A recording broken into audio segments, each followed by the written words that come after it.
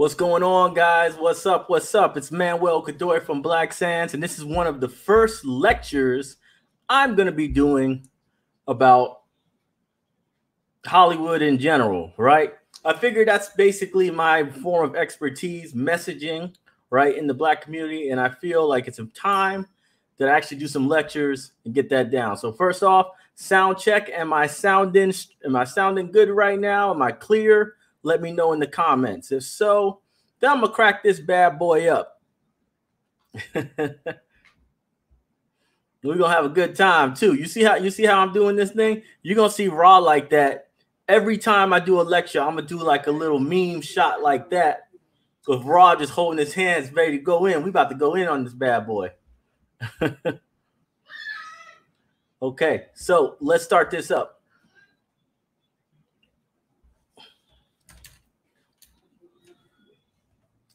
So, what we're going to be breaking down today is slave movies. That's the topic of discussion. All right. I'm only going to be talking about slave movies and what it means to the black community, why Hollywood seems to have an infinite amount of money for slave movies, but ain't got any money at all for stories about African civilizations. And people might say, oh, well, maybe it's about the money. Maybe they care more about money, or maybe they care more about profits. But at the end of the day, I'm gonna explain why that don't make no sense at all, and why the reality is there's an agenda that they're trying to do, and uh, we're gonna tackle that right now. So let's start this off. Now, I want to ask you a question, right? And I'm gonna read these comments too, because I want to see your comments. He said, "The Hollywood agenda." To me, there's three things that are core to the Hollywood agenda when it comes to slave movies. One, social conditioning. You are a second class citizen, black man, black woman. You are second class. We must remind you of your origins as a second class citizen, right? Institutionalizing. Who makes it out of these slave movies? The people that survive, are they the ones who rebelled or are they the ones that played their role until someone allowed them to get out of slavery? Hmm?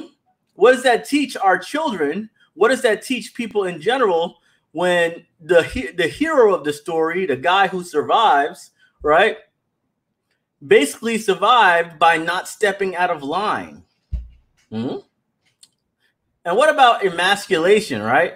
Why every time you know that we watch these films and stuff like that, all they do is show men being basically like ripped apart or torn down to the point where they're all emasculated. It seems like that seems to be a very common theme, right? They're either emasculated or demonized, one or the other, right?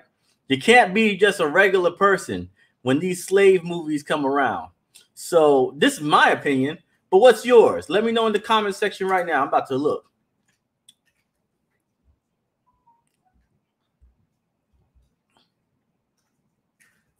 Look at that right here. I got a comment right here. This sounds right the complacent folks survive. Have you noticed that when you watch these films? When you watch these films, have you noticed that? That the person who's the least active, the person who's the least rebellious gets the greatest reward?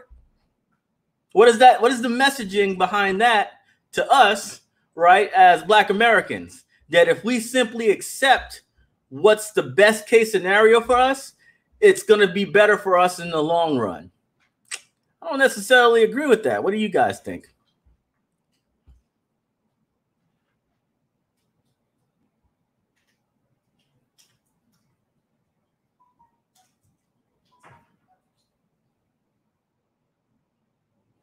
I'm telling you guys.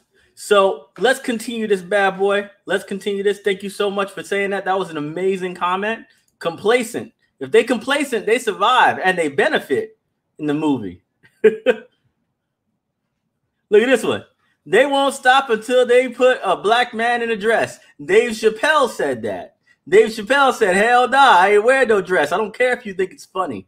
But he's like, they want to put a dress on everybody. Man, we can't be having that. Let's continue with this bad boy. So, by the numbers, right? I like throwing stuff by the numbers. People always ask me, you know, why I do certain things. And, and why I say certain things, they're like, oh, well, maybe maybe it's the budget. Maybe they just don't have the market for for uh, uh, African civilization stories. Maybe this, maybe that. Well, let's look at the numbers. What do the numbers say? Uh, so 40 years. I'm going for 40 years of black cinema. All right. This is 40 years of productions about black people. And during that time period, we had 80 plus films or shows on slavery alone. That's not including civil rights. That's not including uh, gangbangers or or stories about um, deadbeat dads, right, and single moms. That's not stories about. that's not stories about twerking or drug dealing or anything like that. I'm specifically talking about just slavery. All right. Then we have 40 plus movies on civil rights. You know, that's how many films were funded and shows were funded by Hollywood. But in that same time period of 40 years, we only had one on African civilizations. And if we're talking about that one, it was Shaka Zulu. Shaka Zulu was one of the only major budget um, productions made ever about an African civilization doing anything positive, you know? And that's the straight up reality of the situation right now, man. Like, like that is why companies like Black Sands Entertainment exist. That is why people support us on Patreon.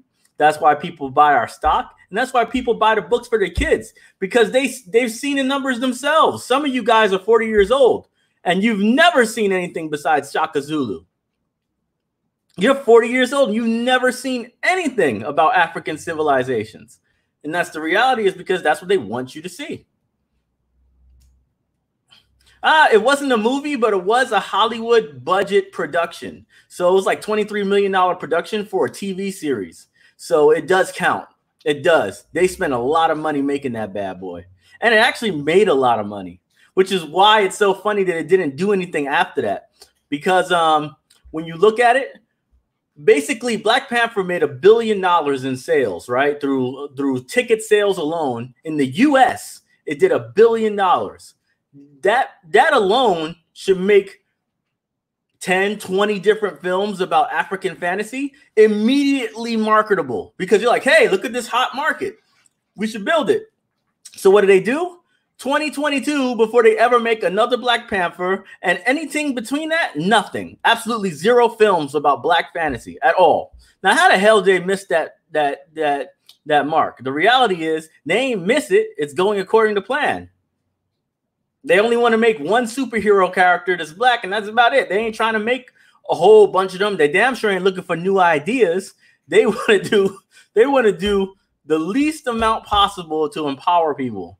All right, because the same thing happened with 300. 300 only made 500 million dollars domestically. It made 500 million dollars domestically. In the next two years, they made 12 films on ancient Greece.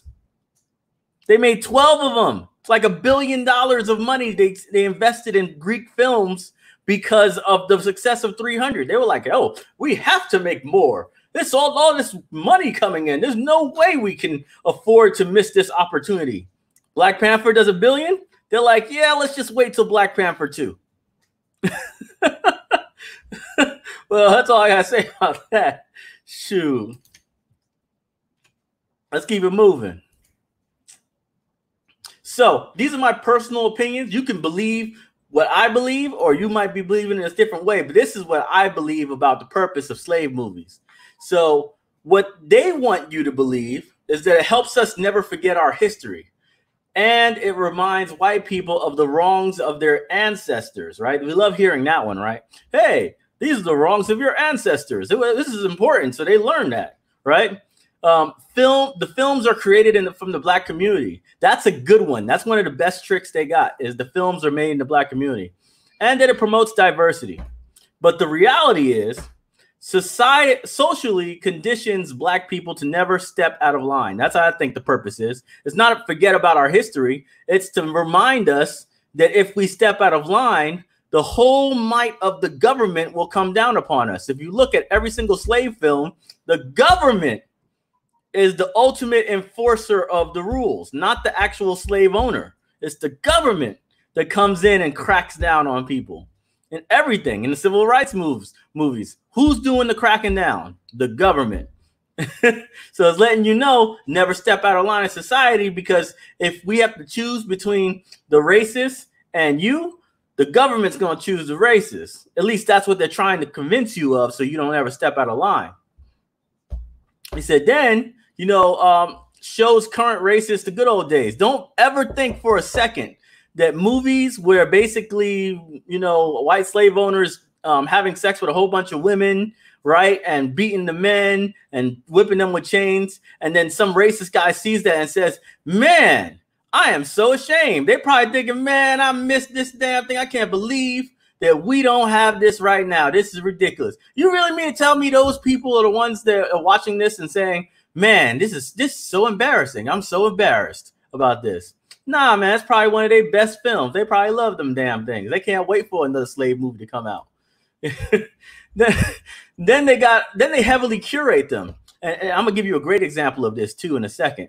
But they heavily curate who actually makes these films. So even when the filmmaker is black, all right. So even when the filmmaker is black, there are certain kind of political views they have. There's certain kind of people they live with. They're people that they exist with. That they that that they're not part of our circle. They might be black, but they don't necessarily think that black objectives and black personalities matter. You understand? They just they they they, they ain't they ain't down like that, you know. and we're gonna give you an example in a second. And then uh, it promotes slate agendas. So this is more on the money side of things.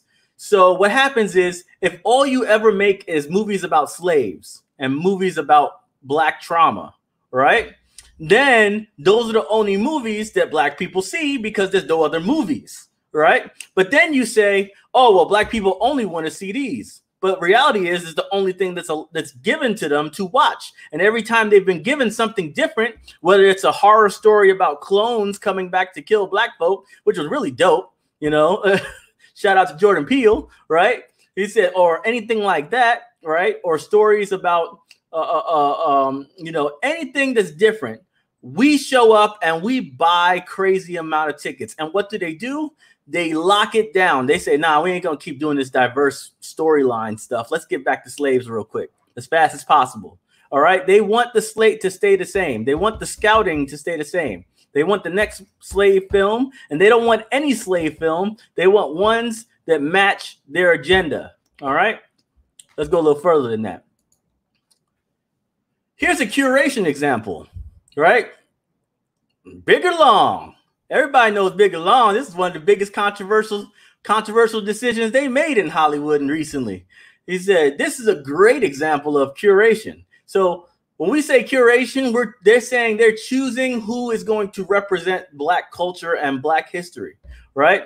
So the writer of the Harriet Tubman film, right, decided that out of all the historical documented white slave owners and killers and whatever who were hunting down Harriet Tubman all her freaking life, we had to make sure that the biggest threat to Harriet Tubman in a film is a make believe character who is a black man hunting down slaves. Because clearly we couldn't just pull out any of the characters who was historically real who were, who were stopping her all her life. This is what we call agenda. Now, the reason why I say it's agenda is because Harriet Tubman is literally the most popular slave in history. All right. Everybody knows Harriet Tubman. The most redneck of redneck redneck people know Harriet Tubman. Everybody knows Harriet Tubman. They probably get a thousand scripts a year, a thousand scripts a year about Harriet Tubman and movies and pitches and agents throwing them scripts about Harriet Tubman. And guess which one got funded? Out of all of the one they said, they said, man, we got all these positions, we got all these things from Harriet Tubman. I wonder which one we're gonna put our money in. Hey, what about the one where the black guy is hunting Harriet Tubman? I don't remember any of that in the books. Well, it's not about what's in the books, it's about what we need to tell the audience. Don't trust black men. Don't trust them. They'll turn on you in a dime.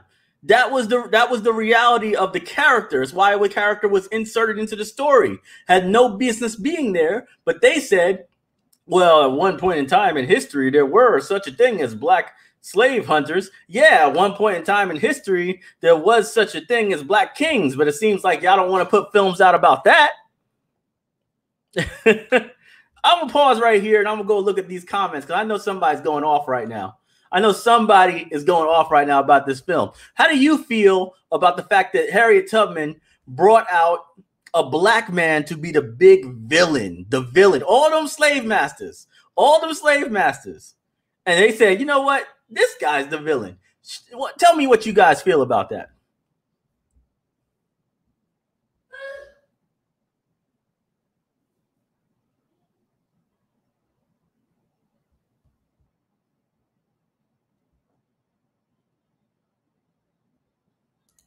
We got some saying it's just hot garbage, man. A lot of people didn't even see that bad movie.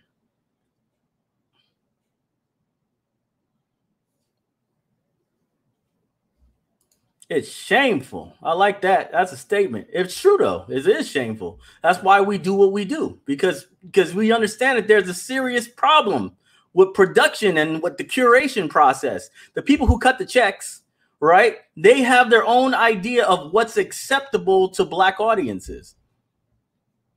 And they never think of what's inappropriate to black audiences. So so they're like this all right, we want to have a story about Harriet Tubman that's acceptable to black audiences, right? But then it'll be like, and we're gonna make the black villain a black man that never existed in history.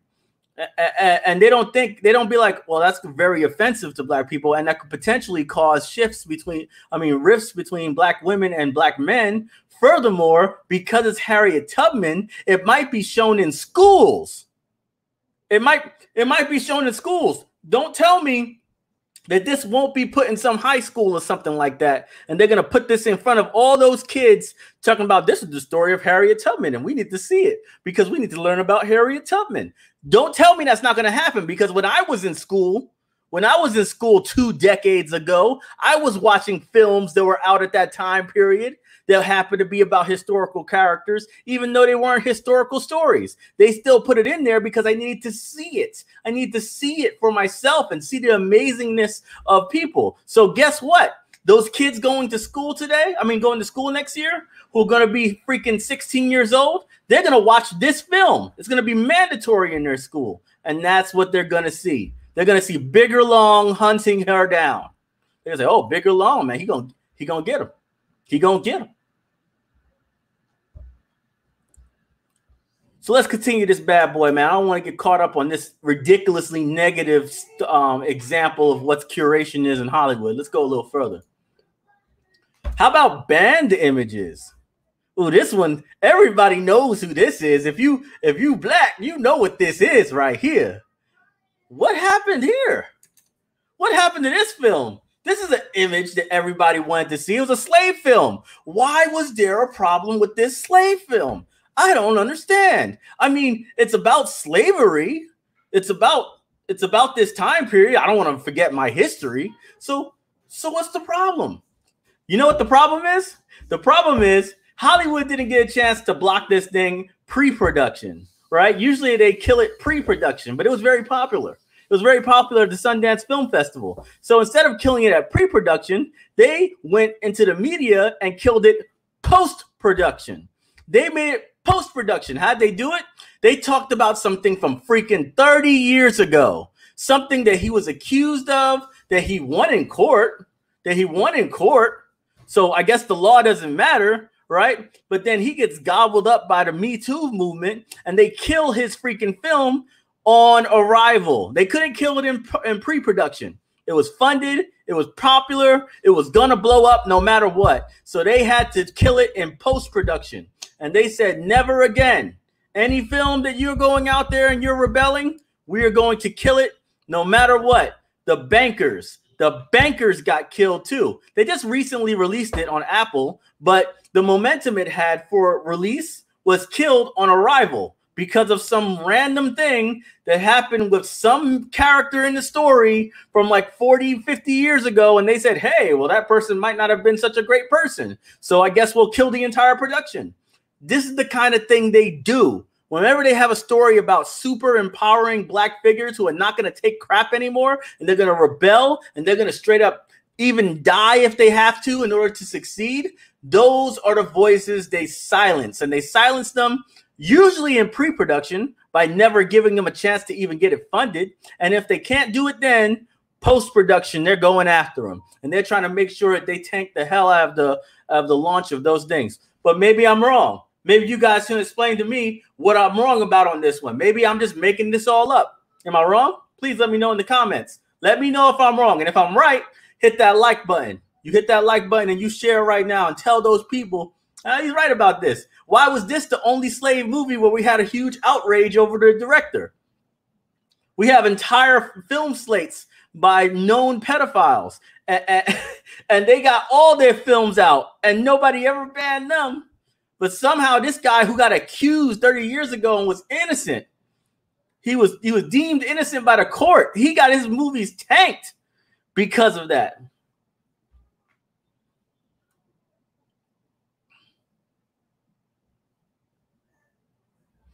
Woo, look at this. I like this statement right here. Kobe, the day he died, they tried to destroy his legacy. They love it. They love it. They can't, they don't want nothing positive to, to, to connect to, you know, just just black power, man. This is that's why we got to protect black power. Men, women, right? Strong women, we need to protect that too. We need all that stuff. But we can't let the media decide what's good and what's not, right? The product is what's good and what's not. Don't let the media tell you this person's a bad guy, a bad hombre, right? Oh, that's a bad hombre, right? There's good people on both sides. That kind of crap. Don't let the media tell you what the hell is right and what's wrong. You should be able to decide that by yourself. This film right here was hot fire. And if it wasn't tanked by the media, it probably would have did a couple hundred million dollars. But it didn't because the media played Hitman. All right. I'm not wrong. I'm not wrong.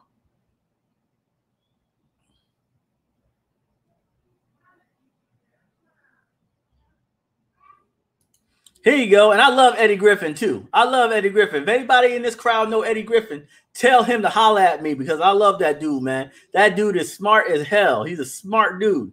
He said, but he said this. He did say this. He said, Hollywood wants every black man to have an asterisk in his name. He wants something negative to affiliate with the black celebrity to make sure that every single one has something negative to them, right? And that's why I got such a big problem with slave movies. Because so long as the slaves are very docile and, and waiting for someone to save them, it's a great film, noble controversy. Let it release. Let's put a lot of money into it. Let's make sure every black American sees it when it's a story about rebellion, oh, look at all the horrible things this person did in their past. Look at all the look at all the horrible things this one um, um, cameraman, the cameraman, the third cameraman, the third cameraman did something bad last week. He he drunk and drove. This whole production is a sham.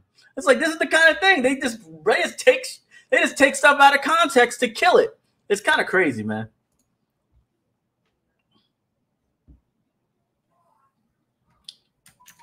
Let's see. How about another one? I'm gonna give you another one. This one gotta ra- this one gotta get you angry right here. This man was a mythical character, an African god, right? Talking to African slaves to come into America. And his message was burn the boat down. And they said, but we can't swim. How will we live? And, and he said, You already dead anyway. At least kill these people too. And and guess what the new director said when he came to the show? He fired my man, Mr. Nancy, fired one of the best characters in the whole show. He fired him.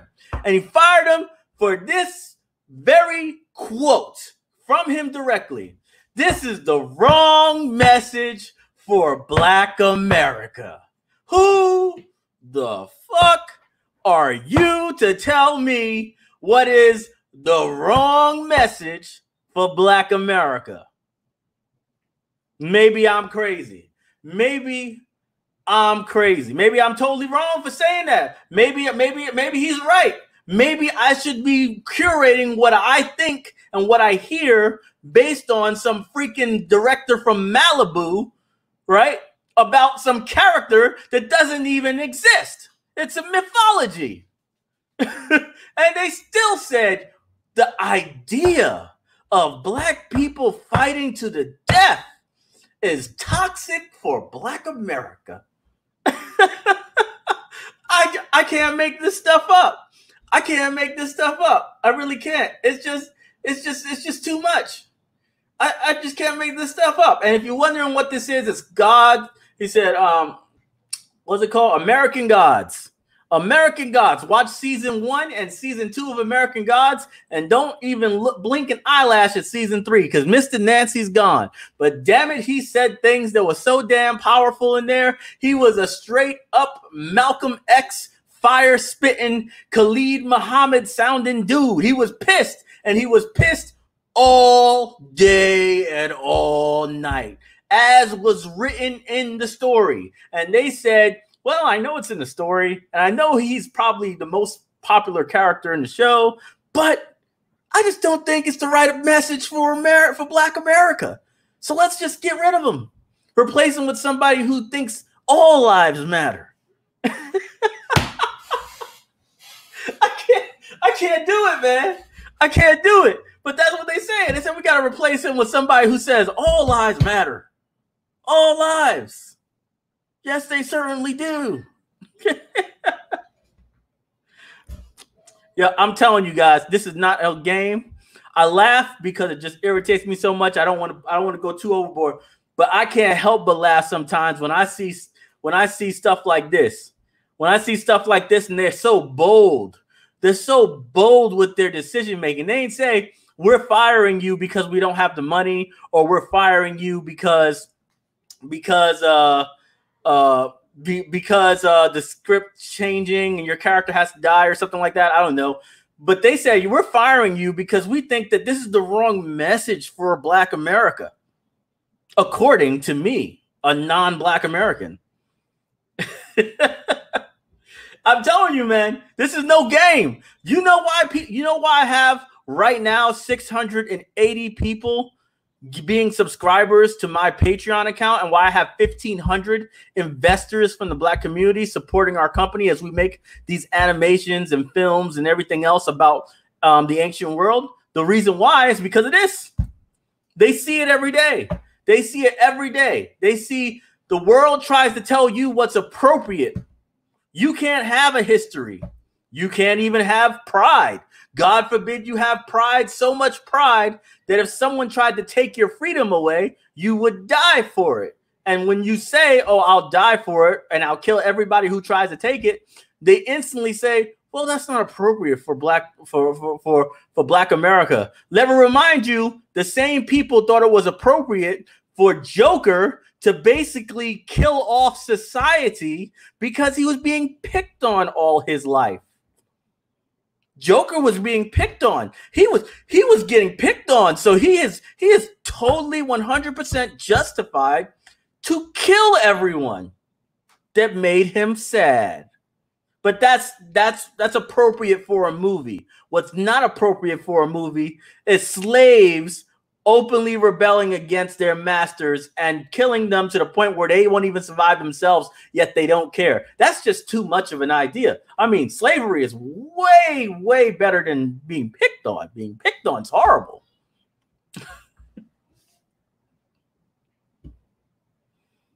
telling you, man. I'm telling you. I'm, I'm, gonna go on. I'm gonna move past this slide. This slide kills me, so I'm gonna move past it because this one right here bothers me. It bothers me a lot to know this man lost his job and he was literally the best character in the entire series. So, you know, this is my call to action. I am done with this lecture for today, but this is my call to action for you guys. You know, first of all, like and subscribe on YouTube, Instagram, and Facebook. All right. If you don't follow me on Instagram, you're missing out because I'm kind of funny over there. I make a lot of jokes, right? I make a lot of political statements. I probably get in trouble sometimes, whatever, right? But it's fun.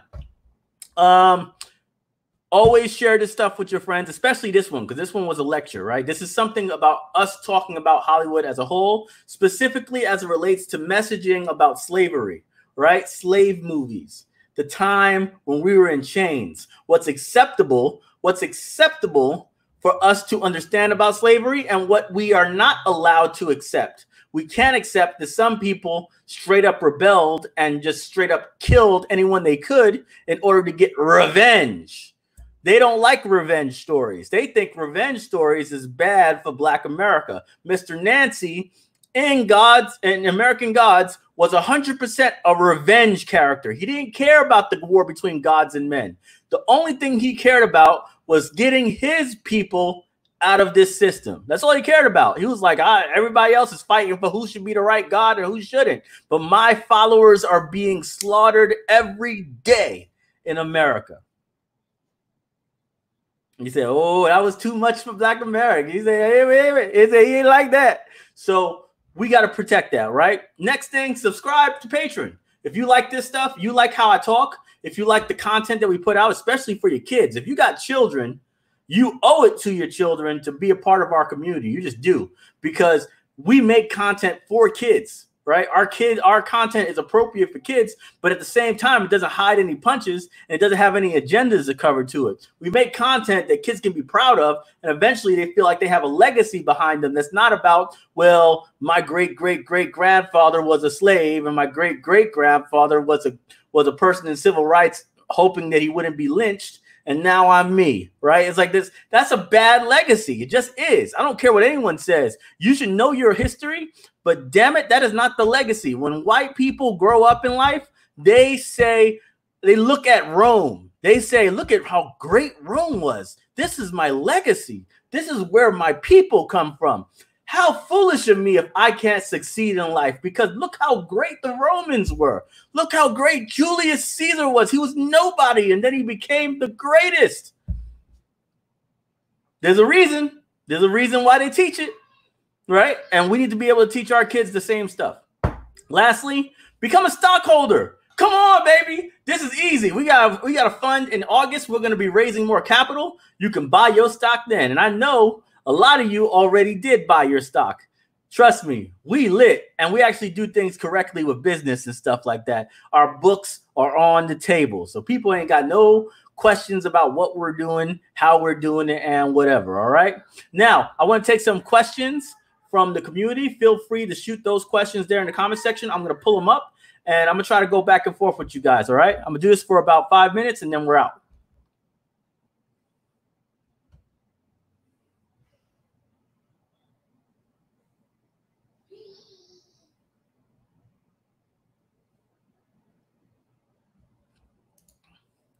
Ah, here we go. So one question of, um, from Alexander says, "How do you become a stakeholder?" Well, it's very simple. Um, in about in August, we're going to do a uh, investment round through WeFunder.com. That's usually where we do our investment rounds. Uh, just buy some stock then. Hopefully, you'll get in before it uh, closes. Most of the people who are going to be buying stock early are going to be people from in, um, Patreon and people who are already investors. There's a lot of people who are already investors in our company who say they're going to buy stock again. So hopefully it won't get too greedy and there'll be some left over for the public. But if you don't want to take your chances, become a patron because I always let my people know first before anybody else does. Give them about 72 hours to go and do what they got to do before I open the gates to the next wave. You know what I'm saying?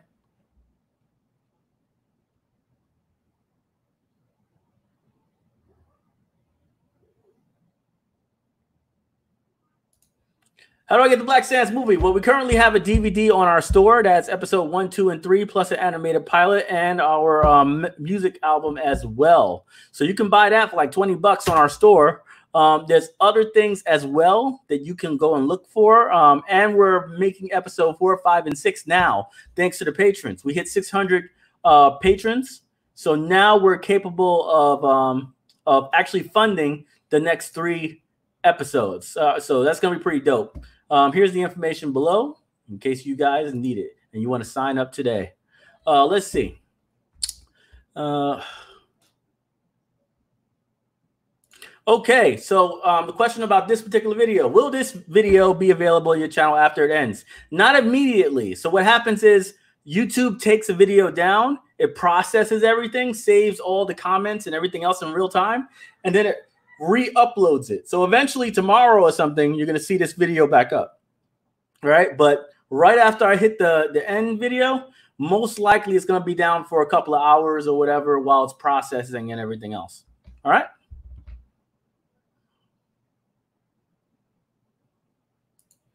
All right. So when does the close date for this investment round? And the answer is there is no close date. When we hit maximum, we're done. Last time it took us three weeks to hit maximum. Three weeks. So we went very fast to raise that half a million dollars. So I expect this campaign to go even faster because people are prepared now and a lot of people missed the first time. We had 400 people get refunded because they invested after we hit 480k. Legally, I can't close a round out until 6 days after I've hit max.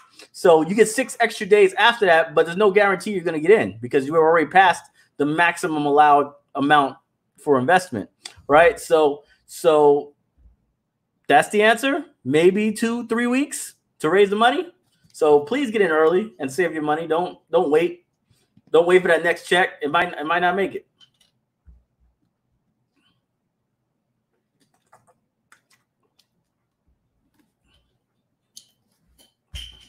Here's a good one. I like this point right here. Hey, how many of you guys have heard over and over again on Instagram, on Facebook, on Google, you hear the same thing. Oh man, this celebrity is trying to make this film. Oh man, this guy's gonna make a story about the Moors. Oh man, this guy's gonna make something about the Haitian Revolution. And, and how many decades have we heard that, but we never actually see the film created? There's a reason for that. They don't they don't fund them. They never fund those stories. They don't want those stories.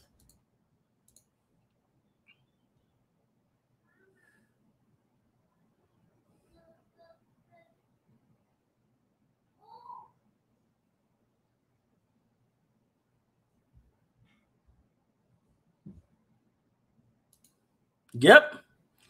Yep. And the reason why Danny Glover never did was simply because Hollywood would not fund it.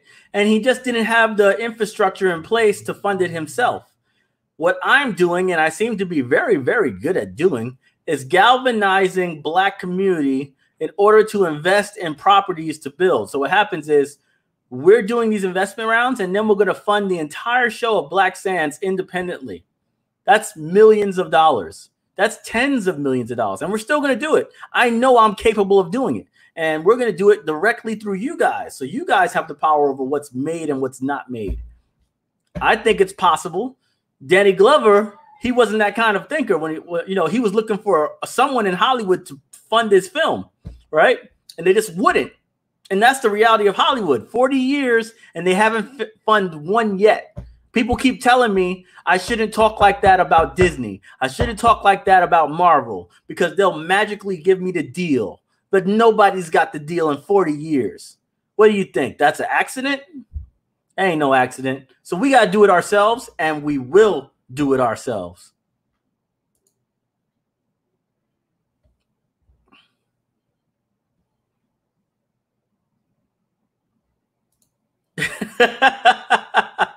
Yo, Imani, Imani, you so cruel, man. No, first of first of all, don't do that to everybody. You can't be scaring people like that, all right? That's my job.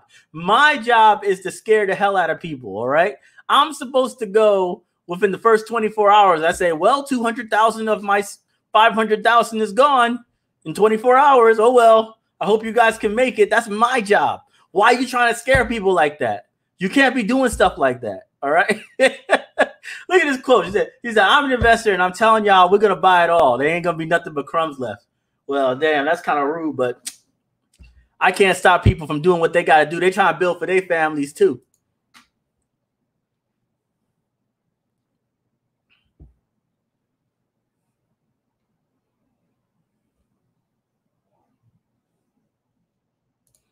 Hey Jordan, thank you so much for those words, man. I just want to say um, thank you too for just tuning in, right? Thank you so much. I, I'm gonna tell you right now, nothing does more for me and my channel. I'm gonna be honest with you guys. Nothing does more. If you want to help us, even being a patron is nice, but you know what makes YouTube channels blow up? When you record a little snippet of what I'm saying, right? You record it with your phone or whatever, and then you tag me on Instagram and say, man, that dude is spitting on YouTube. You gotta watch this because all your friends and stuff are now exposed to my programming and my content. And then they start checking us out. And then the algorithm says, man, this guy really reaches out to new people. Let's go and push it out to others as well. That is very important. So if you want to help me out, right? If you guys want to help me out in any way, that you'd be surprised how effective that is to just straight up say your own statement, say, man, this dude is wilding out right here. You know he's speaking truth, baby. And, and that stuff gets it. It gets it a lot, man. So all I'm saying is, if you want to tag me on Instagram, I would love it.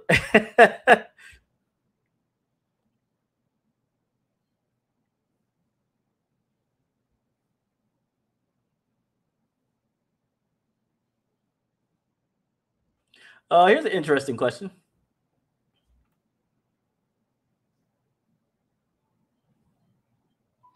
Uh, what's your take on Black Panther or working with other Black visionaries? I've signed a lot of Black people, so I have a lot of I have a lot of Black and Brown creators who are making comic books themselves. They made their own books. They don't have nearly the market I have, but they have their own books, and we've signed them exclusively to Black Sands Publishing, which is our app that we're developing. The app will come out in November. The website to apply to become featured on the app might come out in late August. That's when anybody can apply, bring the comic books, put it in there, webtoons, web comics, and we're going to try to get as many people on there as possible. So, yes, we are working with black creatives all over the place. And we're going to give them a platform where they can finally reach their audience instead of having to dig through all the crap that's webtoons, right? You ain't never seen no black people on webtoons. And every single one that you see, you know, is made by somebody who's not black. So we got to give an audience to us. We got to make an audience specifically for us so we can enjoy um, black creative content and actually get money in the hands of black creators. I pay people. I don't sign them and be like, I signed you and you I own your content and I didn't give you jack. I pay people.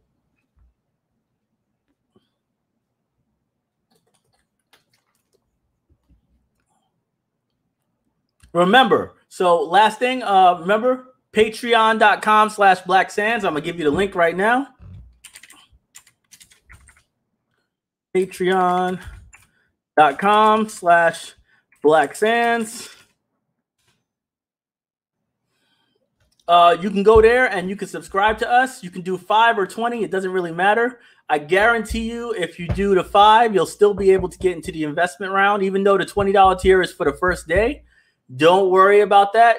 I doubt the entire campaign will close in three days.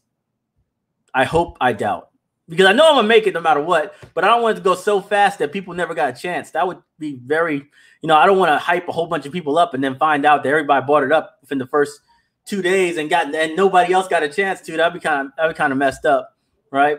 But but hopefully you guys will get it, you know, at the five dollar tier as well. And basically anybody who's subscribing is helping me out immensely. And you get 11 comic books. 11 comic books on day one. Come on, man. 11 comic books, day one. Two more comic books coming out at the end of the month. That's crazy. All right. So I'll holler at you guys later on. Thank you so much for coming out to our first lecture. Let me know how you rate this out of 10 in the comments section. And I'm out.